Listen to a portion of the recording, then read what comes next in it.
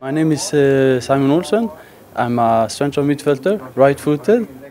I can play. I can play like ten and a eight, and uh, if if the trainer wants me to play a six, I can play like six too. So And what do you prefer? I I prefer like ten. Yeah, why did you uh, yeah choose to come here to uh, to Heerenveen? It's a perfect step for me, and uh, I have talked to Rami and the other players, Ibro.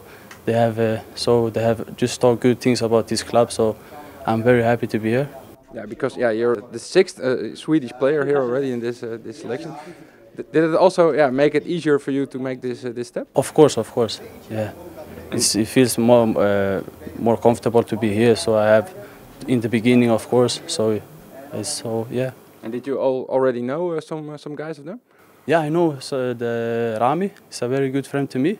I played him played in Elfsborg with him. I lived with him in Borås, and so I know him very well. Then I know Rami a little bit, and then the other uh, guys I played against them, so I know them a little bit uh, like this, but not like Rami, not close like Rami. So yeah, very special then that you meet him again. Uh, Yeah, yeah, so nice, so nice to see him again. Um, yeah, now you're here. What uh, kind of contract uh, are you going to sign? I'm gonna sign uh, four years, and I'm gonna do the all for uh, Heerenveen now. Four year, yes. And uh, yeah, how do you feel? Are you yeah fit and, and ready to play? Yeah, I'm fit. I think I'm very fit because I'm in the middle of the season in uh, Sweden, so I think I'm very fit. Yes. Good luck. Thank you so much. Thank you.